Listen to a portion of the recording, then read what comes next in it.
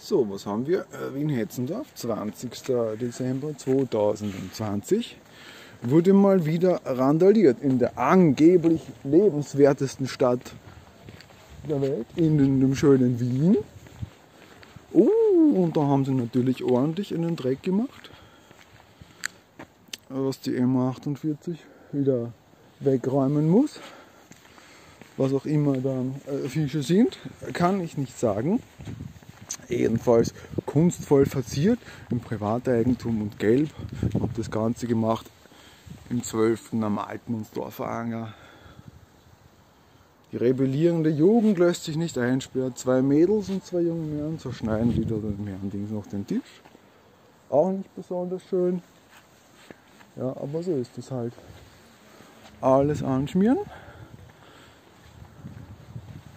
in Wien.